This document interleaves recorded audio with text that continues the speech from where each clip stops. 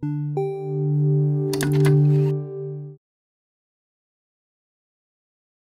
this video, we're going to take a look at how long you should keep your subscribers on your email marketing lists who aren't opening your emails. This one is quite a tricky subject to address, and none of us want to delete people from our lists. But sometimes, keeping these people can cause more harm than good. So, first up, we need to define what exactly do we mean by a non-engager? Well, according to Litmus, we can put these people into three categories.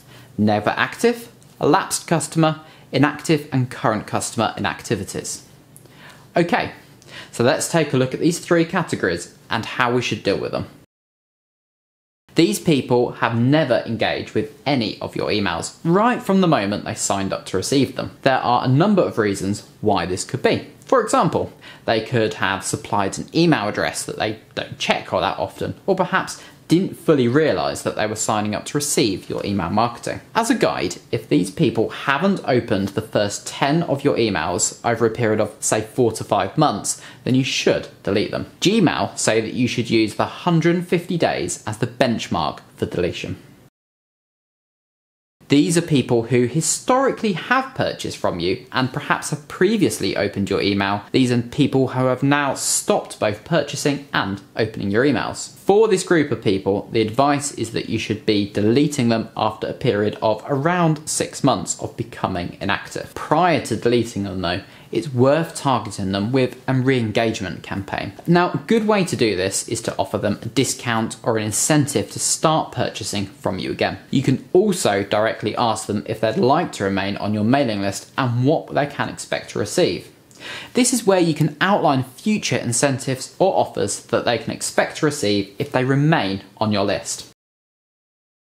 This final category are customers who are still actively purchasing from you but have stopped opening and engaging with your emails. Final group of people need a little bit of thought and planning to come up with the right campaign to re-engage them. It's highly likely they aren't opening your emails simply because at first glance, things like the subject header line or preview text just aren't striking a chord with them. This is where A-B testing can be your best friend.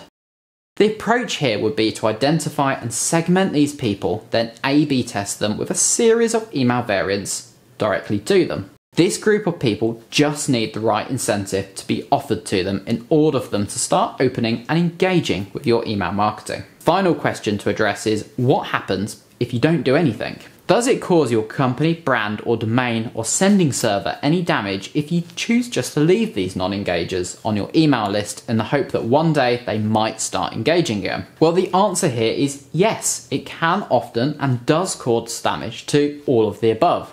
Nowadays, spam filters are really tight on list hygiene. If they see people are not regularly engaging with your emails, they will then penalise your future sends. If they do this, this dramatically increases the chances that your email marketing will not receive decent inbox placement and would be delivered to your recipient's spam folder. So, in summary, good housekeeping is more important than ever with your email marketing lists. As difficult as it is to delete people that aren't engaging, keeping them can cause more harm than good. Okay, thanks for watching. I hope you found this useful and be sure to check out some of the other videos on our channel.